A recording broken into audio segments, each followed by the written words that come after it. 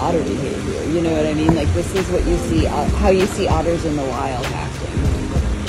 And you just, in a captive setting, unless you have a feature like this, you don't see them displaying these natural behaviors because they don't have the opportunity to. And you've already seen a, a bit of a switch in their behavior. Oh, completely.